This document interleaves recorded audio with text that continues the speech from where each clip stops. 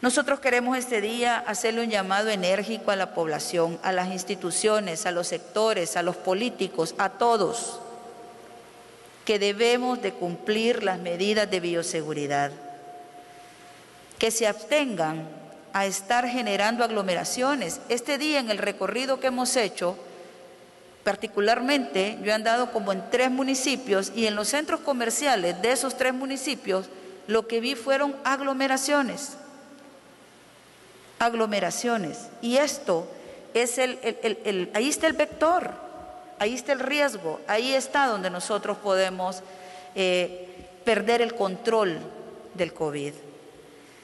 Es de vital importancia entonces que cada uno de nosotros, salvadoreños y salvadoreñas, que amamos este país, que amamos a nuestros hijos, a nuestros nietos, a nuestros abuelos, a nuestros padres, tomemos conciencia que nos, somos nosotros Independientemente de lo que digan sectores y de lo que digan ciertos políticos, somos nosotros los que debemos de llevar la vanguardia del cuidado y de la aplicación de las medidas de bioseguridad.